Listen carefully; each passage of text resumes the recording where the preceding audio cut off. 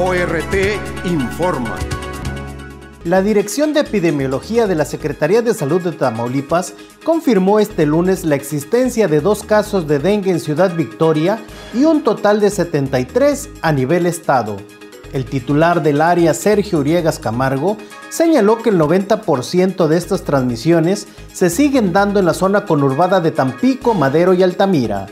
Para evitar la existencia de posibles brotes, añadió que cada vez que se presenta un caso probable, se activan las brigadas epidemiológicas y de vectores para efectuar la búsqueda intencionada de más casos cercanos al domicilio del paciente, así como para realizar labores de fumigación intradomiciliaria y especial.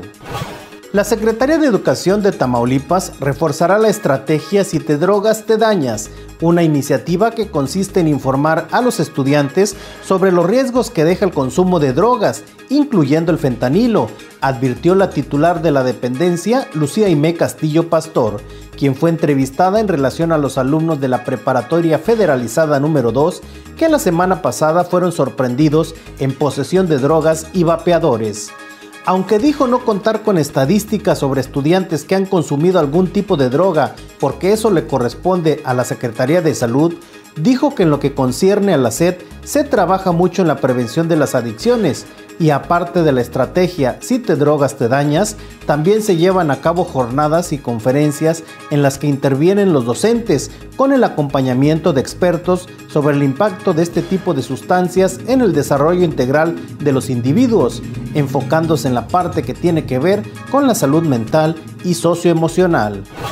Ante la proximidad del inicio de la temporada de huracanes 2024, el coordinador estatal de protección civil en Tamaulipas, Luis Gerardo González de la Fuente, informó que ya se están emitiendo las recomendaciones a los ayuntamientos para que se preparen para este periodo y el cual se prevé que podría caracterizar por ser extremadamente activo. La temporada de huracanes comprende del 1 de mayo al 30 de noviembre para el Océano Pacífico y del 1 de junio al 30 de noviembre para el Océano Atlántico. Recordó que durante el 2023 se registraron más de 20 fenómenos hidrometeorológicos, de los cuales desafortunadamente ninguno de ellos tocó tierras tamaulipecas. Sin embargo, reiteró que para este año las condiciones pintan mucho más favorables, por lo que advirtió de la necesidad de efectuar trabajos de mantenimiento y desasolve en los drenes pluviales. ORT te informó.